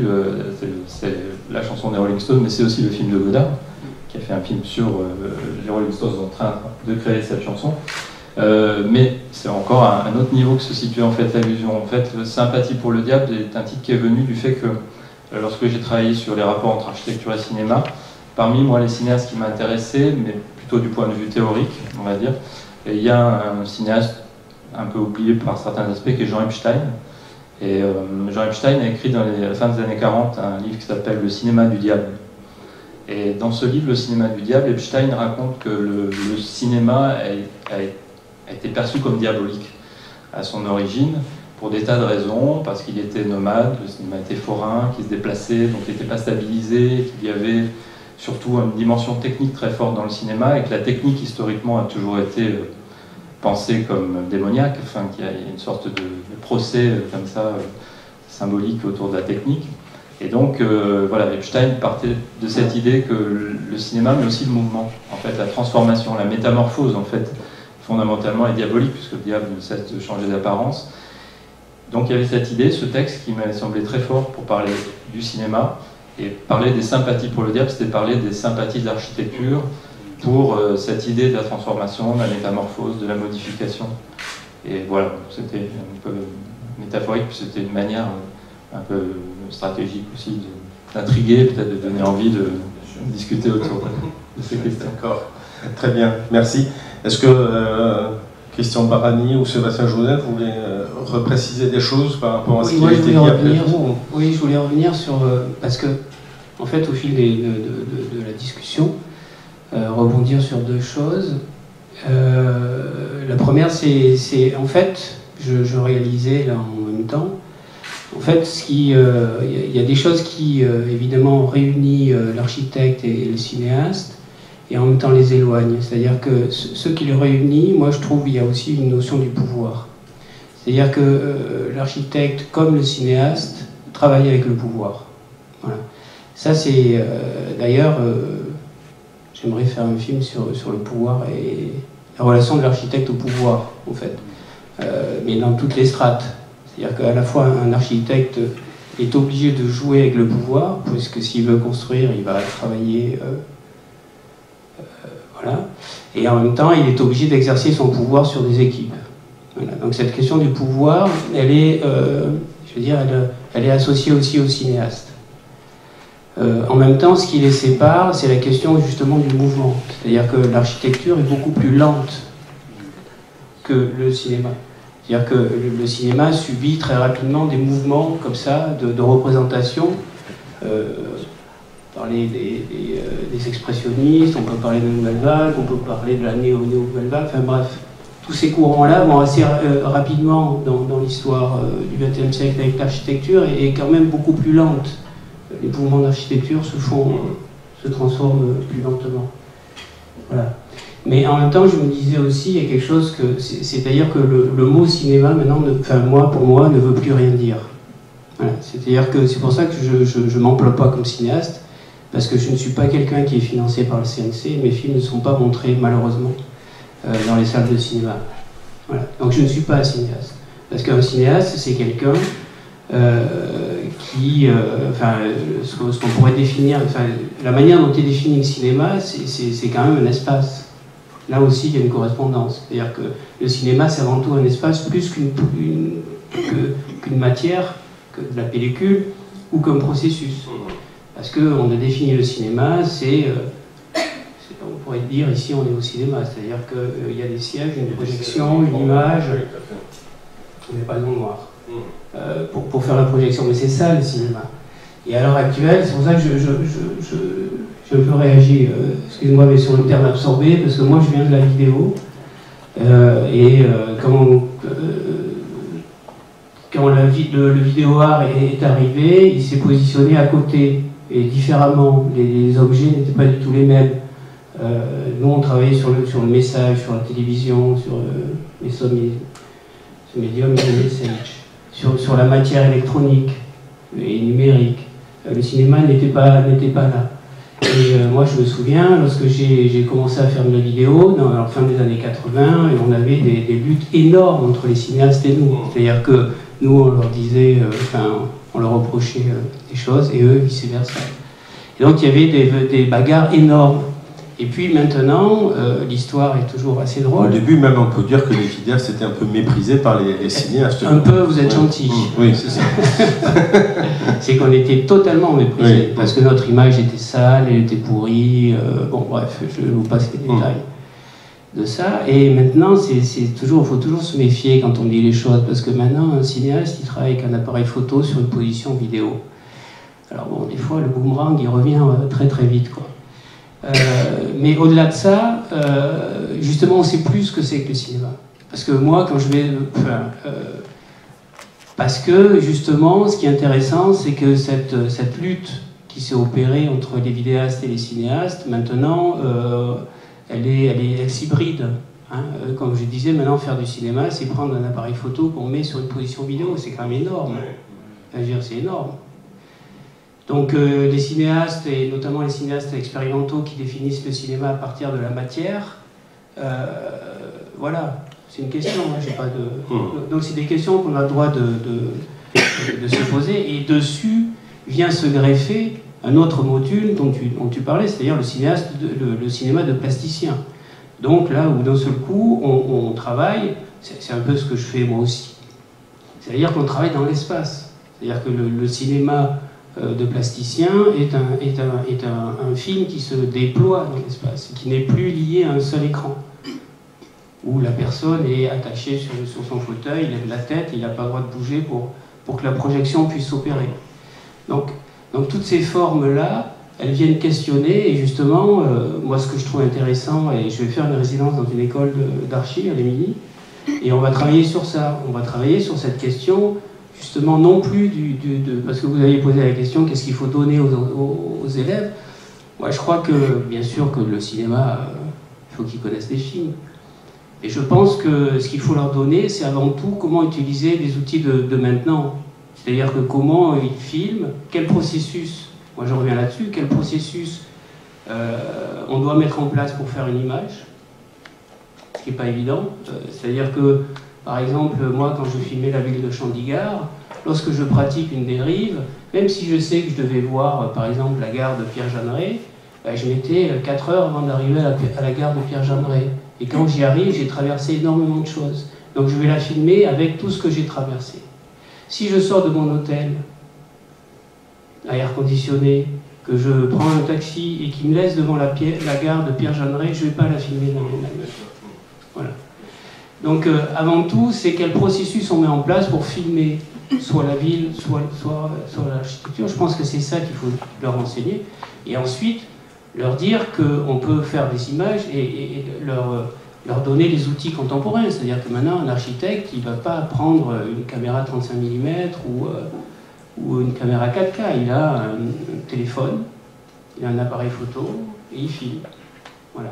Donc euh, par rapport il y a donc à la fois ces questions-là qu'il faut mettre en place dans les écoles d'architecture, c'est-à-dire utiliser les outils d'aujourd'hui, et en même temps cette question aussi de l'espace. C'est-à-dire que comme l'architecte travaille dans l'espace, euh, comment, euh, ces, images qu'on a captées de l'espace, on peut les redéployer dans l'espace. Voilà. Parce que maintenant on a des outils qui nous permettent ça. Où justement on sort de la salle de cinéma, où, comme je le dis, on est figé, on regarde un écran, on ne bouge pas on se projette. Ça, c'est des cas extrêmes. Maintenant, c'est devenu presque, euh, comment dire, euh,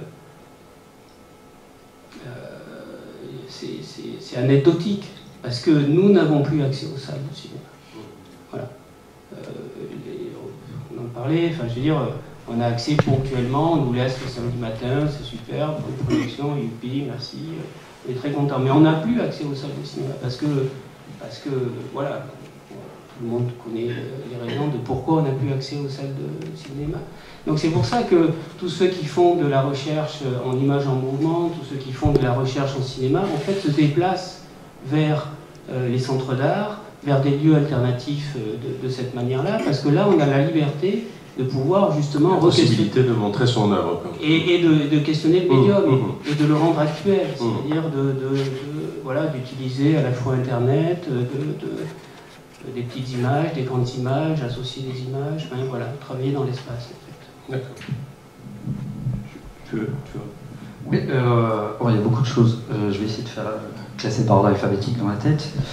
D'abord, je suis tout à fait d'accord sur, sur, le fait qu'aujourd'hui, enfin, cinéma, on ne sait plus exactement ce que ça veut dire et qu'aujourd'hui, enfin, moi je parlerai d'image en mouvement, voilà, simplement parce que, que, quelle est la différence entre une, série américaine, un film au cinéma, un jeu vidéo, etc. Il y a toujours des images en mouvement qui nous racontent des histoires. Quoi.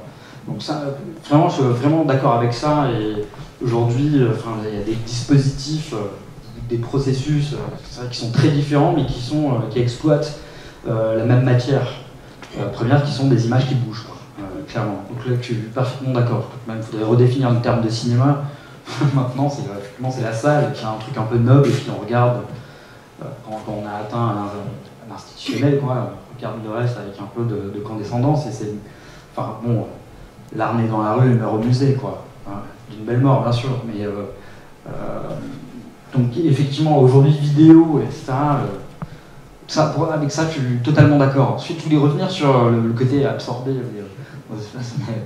Peut-être pas le terme, enfin, je sais pas quel est le terme exactement, mais il est absolument évident, pour ma part en tous les cas, que le cinéma, dès le 28 décembre 1895, a changé radicalement notre perception de la réalité. On ne voit plus la réalité de la même manière de, et c'est une invention qui est parente d'autres inventions. Je veux dire, la première fois que vous avez mis euh, l'œil dans l'œilleton d'un microscope et que vous avez vu des trucs invisibles bouger, vous ne pouvez plus regarder le monde qui vous entoure de la même façon et c'est irréversible, quoi. C'est définitif et irréversible. Ou un télescope, c'est exactement pareil. Enfin, quand, on sait qu'il y a des, petits trucs qui vivent autour de nous qui sont totalement invisibles, etc. Et on y croit. Et aujourd'hui, je suppose que dans la salle, tout le monde y croit. Voilà la même manière que le télescope, etc., la Terre euh, est ronde, tourne autour du Soleil, et je suis persuadé qu'aujourd'hui personne, euh, enfin tout le monde est d'accord. J'espère. La mer est toujours morte. Mais, enfin pas morte, qu'est-ce que je raconte. Euh, et, avec le cinéma, pour y revenir, il y a quelque chose qui change radicalement aussi, parce que c'est la première fois peut-être dans l'histoire de l'humanité qu'on peut faire l'expérience de soi ailleurs que sur le miroir, que, que dans un miroir. C'est-à-dire qu'on quand on regarde euh, euh, l'entrée d'un train en gare de la Ciotat, tout le monde l'a vu, ou c'est enfin, fait partie quasiment de l'inconscient collectif, vous voyez euh, le train arriver en gare, les gens sortir, marcher sur le quai, se rencontrer, etc. C'est-à-dire qu'on voit vivre des gens du, 21 du, 19e siècle. Je répète cette phrase. On voit vivre des gens du 19e siècle ils sont morts depuis belle lurette, quoi. Hein, c'est que la, on a inventé la machine à voyager dans le temps. Bon, ça va pas dans le futur, malheureusement. Mais euh, en tout cas, euh, on, voit vivre des gens du 19e siècle. Et fatalement, c'est une révolution euh, philosophique, métaphysique, etc. Et ça change radicalement, de façon irréversible et définitive, notre rapport à la réalité. Et quand on parlait de la ville, de, l'architecture, tout à l'heure, je réfléchissais en même temps et je me disais que Autrefois, alors je ne peux pas, je suis pas spécialiste, je ne peux pas définir quand exactement, mais que les villes étaient construites sur le modèle du théâtre, quoi. C'est-à-dire euh, l'agora, le forum, euh, euh, les, places publiques, les lieux de rencontre, etc. Et que je crois que de plus en plus, voire c'est déjà fait, le modèle c'est le cinéma. On parlait de flux, de, ce genre de choses, quoi. C'est des, des, lieux de passage, de mouvement, et que ça a changé je crois que les architectes, euh, de façon plus ou moins inconsciente, euh, euh, sont influencés par, par, ce regard-là, et, que ça a, changé, encore, de façon définitive et irréversible, notre rapport à l'espace et au temps. je réfléchissais tout à l'heure en disant de chez moi à, 308, je mets 16 minutes. En quoi? 16 minutes en tram. Euh, et j'y réfléchissais en me disant, mais je ne mets pas 16 minutes, je mets 3 km.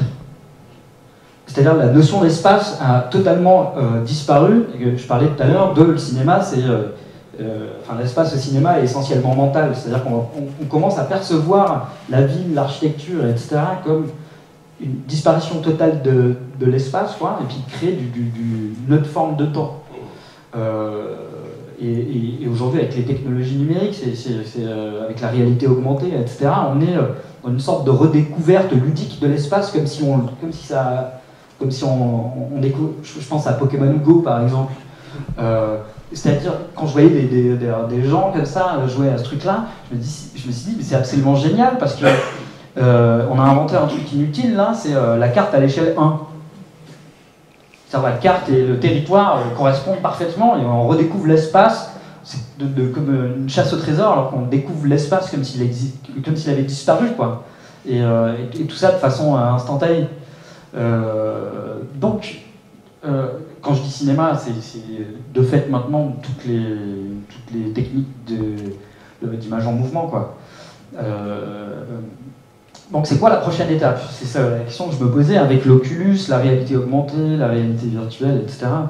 Euh, peut-être qu'on visitera des villes sans bouger de chez soi, ou, peut-être que au contraire, je ne sais pas, je laisse l'action en suspens. En tout cas, voilà, juste pour euh, préciser ce truc-là du rapport du cinéma à l'architecture, à l'espace, c'est que ça a changé euh, juste notre perception de la réalité et donc les villes, de façon plus ou moins inconsciente, s'adaptent au fait qu'on a que notre cerveau euh, de citoyen de enfin, d'humain du 21e siècle a intégré le cinéma. je suis entièrement d'accord avec ce que tu dis sur le principe de modification de la culture visuelle, euh, il y, a énormément de choses à ce niveau-là, effectivement très importantes, qui sont passées avec le, cinéma. Euh, il y a l'idée euh, des appareils, enfin, ce qui est intéressant avec ce que tu disais, Christian, sur la façon dont on doit enseigner, par exemple dans les écoles d'architecture, le rapport à l'image. Les appareils sont très importants parce que le microscope, le télescope, ont inventé ce que Benjamin a appelé l'inconscient optique, c'est-à-dire que c'est des choses qu'on ne voit pas, mais à partir du moment où on a un appareil qui nous permet d'accéder à une réalité différente, là, ça invente un inconscient optique. Et donc, il faut bien voir qu'à un moment donné, ça a été la caméra cinéma, mais cette caméra elle-même, elle a des tas d'occurrences dans sa technique, et qu'aujourd'hui, avec le numérique, euh, c'est même au-delà presque de la caméra. Ce qui est intéressant, par exemple, j'avais suivi François Roche sur un projet dans lequel il travaillait avec un scanner 3D, le scanner 3D, ce qui est intéressant, c'est que ça, ne filme pas, ça ne filme pas des images, ça fonctionne comme avec une optique, mais ça détecte des positions, ça détecte des valeurs, des intensités. Et grâce à ce scanner 3D, par exemple, l'architecte pouvait euh, faire un relevé euh, d'un site, d'une situation euh, très complexe, avec un terrain accidenté, par exemple, mais de manière extrêmement fine, extrêmement précise. Donc, c'est-à-dire, il passait par un appareil qui était un, outil qui a un regard aveugle et qui euh, du coup permet à l'architecte d'avoir un rapport au paysage aussi qui, est même au-delà, par exemple, de ce que lui permettrait d'avoir une simple caméra ou un appareil photo numérique comme on a tous sur notre téléphone, par exemple. Donc c'est-à-dire qu'il y, a, pour, pour, aller dans le sens d'une réflexion sur quels sont euh, les cinémas aujourd'hui, ce qui est vrai ce qui est passionnant dans le cinéma, c'est qu'il a plus de définition, il est indéfini par, euh, par excellence, c'est le cinéma étendu dont parlait Jin Youngblood dans les années 60, c'est-à-dire c'est une sphère gigantesque dans laquelle on trouve des tas de pratiques euh, extrêmement passionnantes. Mais à mon avis, pour revenir à la question du paysage aussi, puis peut-être de la thématique d'Agora, euh, sur le site d'Agora, Basmets dit que, il rappelle le, texte d'Alain Roger à propos de le court traité du paysage, où il dit que le paysage commence avec, euh, enfin, culturel finalement, c'est quelque chose qui est travaillé par les peintres d'abord, les écrivains, et évidemment les photographes ensuite, les cinéastes, les paysagistes, les architectes également, bien sûr, enfin toute personne qui contribue justement à, cultiver notre environnement et notre milieu et, agit dessus. Mais ce qui fait à chaque fois, à mon avis, ces actions, c'est euh, la question technique. Enfin, il y a une question de la technique en arrière-plan qui est parfois un peu oubliée, mais qui, à mon avis, est déterminante. C'est-à-dire qu'on doit avoir une réflexion très poussée justement sur les, éléments de la technique pour, voir en quoi il, peut y avoir un déplacement de cette notion de paysage. La notion de paysage se déplace avec l'évolution euh, de la technique. donc, à mon avis, il faut, y être euh, assez attentif. Question importante. Très bien. Eh écoutez, est-ce qu'il y a des questions dans la salle euh, à nos trois intervenants Ou à un des trois, ou, à qui vous voulez, Oui. Euh, moi, je suis étudiante en paysage et d'architecture. Et actuellement, je fais un début d'études de, thèse sur la ville du futur, en fait. Et je voulais savoir qu'est-ce que vous avez comme, comme image de la ville du futur, vous qui êtes cinéaste ou un peu dans le milieu du design, etc. Et je pense que ça influence beaucoup euh, notre manière de voir, en tout cas, ou d'anticiper euh, le futur. Ouais. alors, je vais répondre vite, je suis pas architecte, ni rien. Oui, Mais tout à l'heure, on a oublié de citer un film, c'est Dark City de Proyas. Je crois que la ville du futur, ce sera des bâtiments qui, qui, qui, qui, qui s'adaptent aux, hommes, qui, sont modulables, dynamiques, élastiques, enfin, j'en sais rien, qui, qui, s'adaptent et qui ne contraignent plus les trajectoires humaines. Quoi. Enfin, c'est ce que j'imagine. Euh, moi j'ai toujours tendance à penser qu'à chaque fois qu'on essaie de penser le futur, on, se plante littéralement. Et, donc euh, tous les films justement de fiction sur l'avenir euh, des cités passent à côté des choses. Et, par exemple, des, Planète interdite, c'est un film des années 50 américain qui imagine la vie sur notre planète avec un robot, etc. Quand on le regarde aujourd'hui, on est mort de rire parce que c'est, ça se passe en 2001 ou 2, je sais plus, mais c'est, vraiment très risible. Donc c'est ce, moi j'adore l'architecture spéculative qui spécule, mais j'aime quand les architectes sont conscients que leur spéculation euh, n'est absolument pas prémonitoire, enfin, que ça ne prédit rien de ce que sera notre futur, et que c'est un pur plaisir de réflexion sur ce qu'est notre présent en fait. En réalité, euh, toute euh, spéculation en fait, c'est toujours une spéculation à partir de ce qu'on a autour de nous. Et euh, dans Planète interdite, le commandant en chef du vaisseau spatial qui est capable d'aller à l'autre bout de, il a un petit microphone mais qui est relié avec un fil à son pantalon parce qu'à cette époque-là, le sans fil, on est incapable d'y penser. Donc c'est toujours très drôle de, de, de s'apercevoir comment euh, cet effet de spéculation et de miroir, c'est d'abord le miroir de notre présent. Donc, il, y a, un film remarquable, pareil, qui s'est peut-être trompé ou tout ça, mais qui montre, qui imagine la, ville du futur et pas dans des conditions euh, très réjouissantes, c'est Blade Runner. Blade Runner, c'est un film extraordinaire pour ça, pour montrer la façon d'ailleurs dont on se dépasse. Euh, c'est plus sur les déplacements, les véhicules qui se déplacent. bon, après, ça reste de la science-fiction, mais ça montre quand même aussi, euh, j'allais dire, une inquiétude par rapport à ça qui, est vrai sur la, surpopulation dans les villes. Quoi. Ça, montre à Los Angeles qui est. Ou, par rapport à la technique, enfin, souvent les films, euh, l'angoisse, la oui, derrière, c'est la technique, comme chose, c'est la technique au sens large.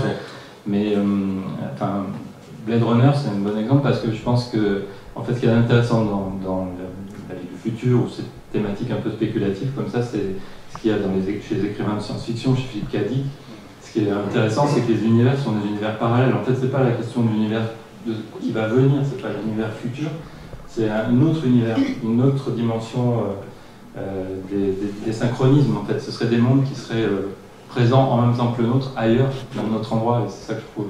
Alors, ce qui est intéressant, d'ailleurs, j'ai lu quelque part que Ridley Scott et Harrison Ford préparaient une suite de Blade Runner, donc je ne sais pas ce que ça va donner, mais bon. Ah, de, de, de Il y a, peut-être un film. Euh, euh, moi, ce que j'aime bien dans les films comme ça, euh, spéculatifs, c'est aussi les films, les dessins animés. En fait, parce que dans, dans, le film d'animation, il y a beaucoup de choses aussi qui sont intéressantes. On n'a pas parlé avant, mais mm. Je pense à Ghost in the Shell. Il va y avoir une version filmée qui va sortir l'année prochaine. Mais le, le film d'animation de Mamoru Oshii, qui est à partir du manga, c'est vraiment un film qui est, extraordinaire sur euh, la ville mm. et qui du, qui du, coup donne, euh, je trouve, des, enfin, qui est extrêmement inspirant sur cette idée de la ville, pas du futur du coup, mais peut-être la ville cyber, euh, cyberville. Question Une autre question Ah pardon. Ah non, non, allez-y, allez-y. Oui, sur le futur, je suis tout à fait d'accord. C'est bon, toujours casse-gueule de, penser le futur. Moi, ce que je constate, parce que euh, j'ai pas mal voyagé et, euh, arpenté euh, des villes sur, sur presque tous les, continents. Et en fait, ce que j'observe, c'est qu'il y a une perte d'identité. C'est-à-dire que cette notion qu'un architecte, je crois, qui s'appelle Koulas, euh, prône de cette notion de la ville générique, euh, en fait, euh, pour moi c'est catastrophique.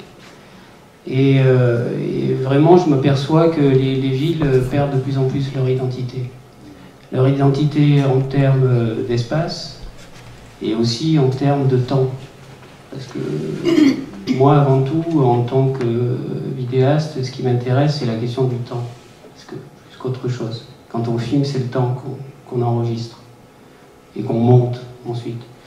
Et ce que je m'aperçois, c'est que il y a encore au milieu, jusque dans les années 80 par exemple, quand on voyait ne serait-ce qu'on se promenait dans les villes indiennes ou qu'on regardait un film de Satya Fitré par exemple, on, avait une expérience du temps euh, qui était particulière, extrêmement étirée. Euh, euh, quand on regardait un film américain, on n'était pas du tout dans, le même rapport au temps. à l'heure actuelle, le temps est partout pareil. Voilà. Et moi, j'ai cofondé une, association de, de diffusion de films d'artistes et de vidéos d'artistes pendant 10 ans. Et je me suis aperçu au bout d'un moment que euh, véritablement, on était capable de, même maintenant, quand on regarde les films, on est capable, on n'est plus capable de, de, de, savoir euh, dans quel pays a été fait le film. Parce que le rapport au temps et la narration est exactement le même. Si vous regardez un film japonais ou un film américain ou un film italien, ou un film français, le temps est le même. Alors pour moi, le temps, c'est de la culture. Et, ça, je trouve que c'est ça qui... Euh, et c'est ça qui me déprimait euh, énormément. Euh, la seule fois où j'étais déprimé quand je voyais, c'était quand je voyageais, c'est vraiment à Dubaï. Parce que vous êtes nulle part, en fait. Voilà, vous êtes dans une espèce de no man's land où on mange une espèce de nourriture internationale qui n'a plus aucune. on est nulle part en fait. Et moi, je, me ressourçais lorsque je retournais dans, le quartier ouvrier, où là, j'étais en Inde, au Pakistan, enfin, c'est écrit en Indien, au Pakistan. je mangeais, euh, je savais où j'étais.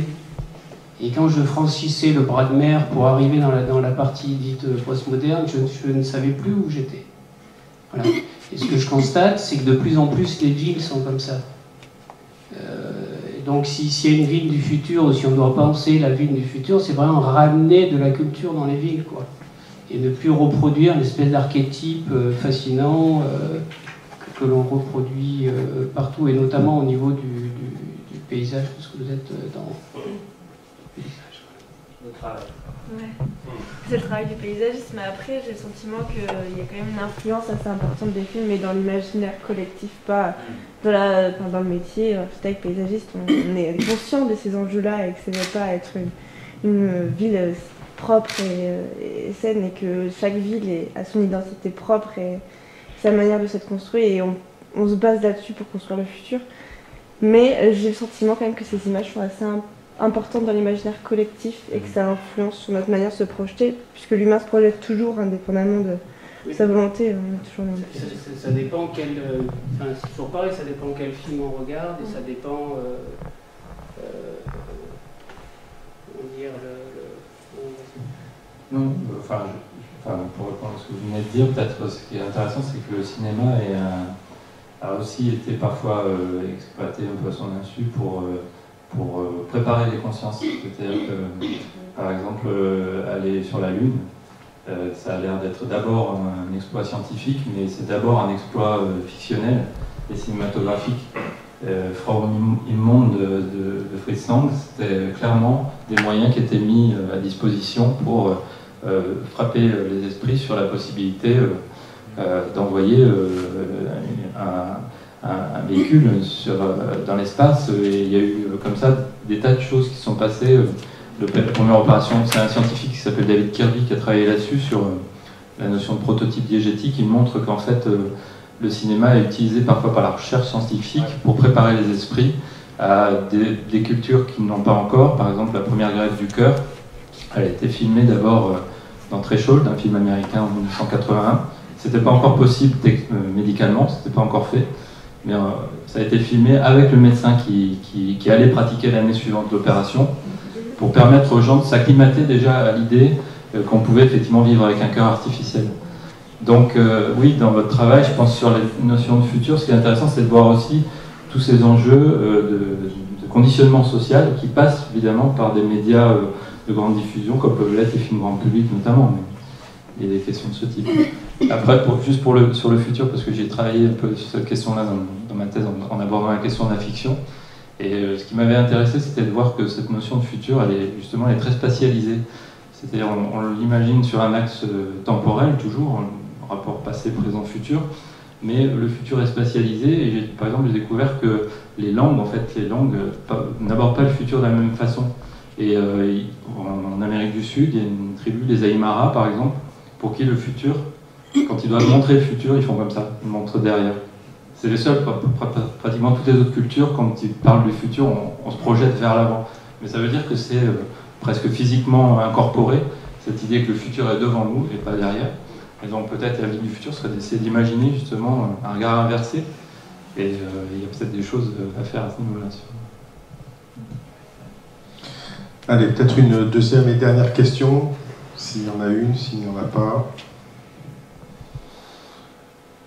Attention, juger. Une question euh, vis-à-vis de la projection qui a été organisée à, l'Utopia juste avant, qui faisait partie donc, du cycle. Pour revenir donc sur ce film Voyage autour de la Lune, euh, Christian, vous parliez de la question de l'identité des villes, euh, aussi de la question de la méthode, de la démarche quand on filme. Et qu'est-ce que vous avez pensé du coup de la méthode de Ila, Becca et Louise Lemoine qui ont travaillé pendant une semaine pour produire ce film? Et du coup, quelle est l'interprétation qui ressort de cet espace public qu'est la boucle des quais? Que personnellement, moi j'ai vu d'une manière complètement différente en étant bordelaise, en la parcourant de plein de manières différentes, enfin de plein de manières, enfin de plein de, avec plein de modes de transport euh, différents. Donc vous, votre avis en tant que spécialiste, plus euh, et votre regard sur ce film? Euh, bah, c'est très juste ce que vous dites, c'est-à-dire que ce que vous venez de dire est pour moi le, fondement de, mon rapport au monde, c'est-à-dire que le réel n'existe pas. Donc c'est une position peut-être un peu particulière qui peut choquer, mais le, réel dans son sens collectif, il n'existe pas. Euh, parce que, euh, en fait, euh, le, paysage, puisque c'est la thématique, c'est une hybridation, c'est un entrelaçage entre ce que l'on voit et ce que l'on pense. Et c'est pour ça que je reviens là-dessus, sur cette question de séparation entre la fiction et le documentaire, je n'y crois absolument pas, parce que d'ailleurs, le cinéma des frères Lumière ne se pose pas cette question-là.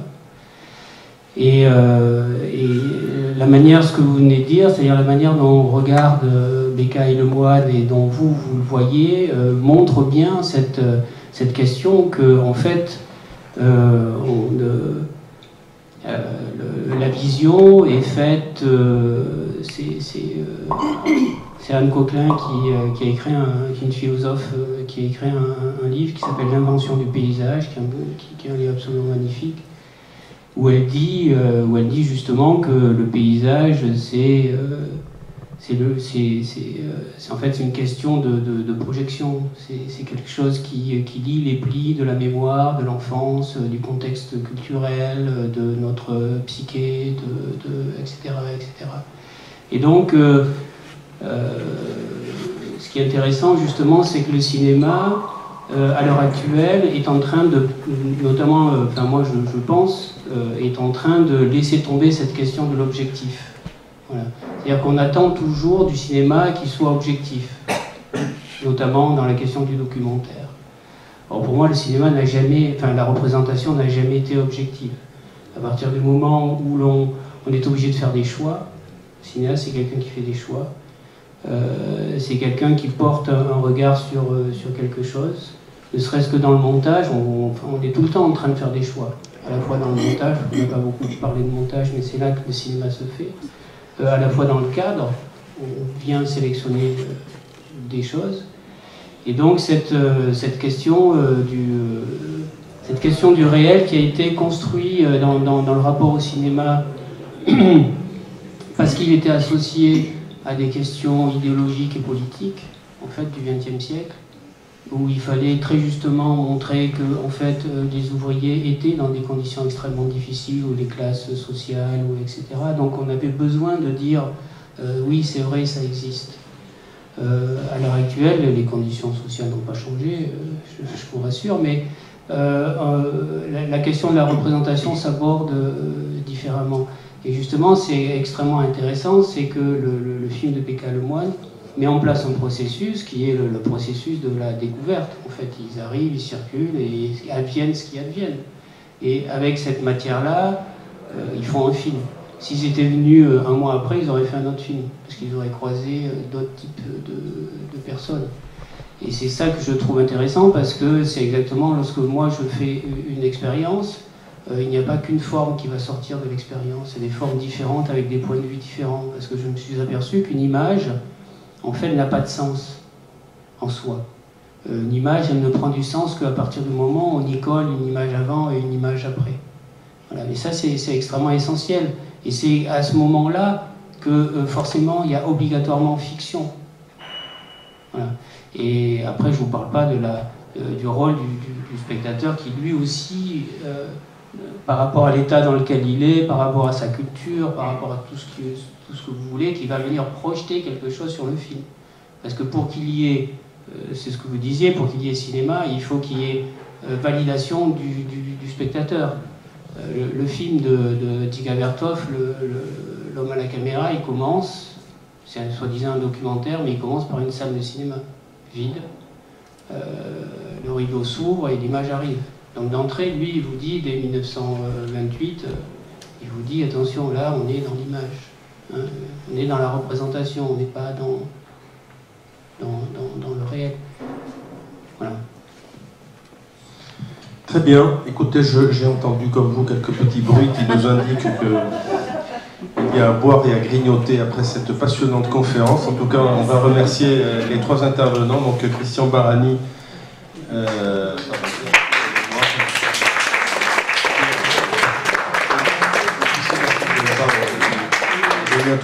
Merci beaucoup, bonne soirée.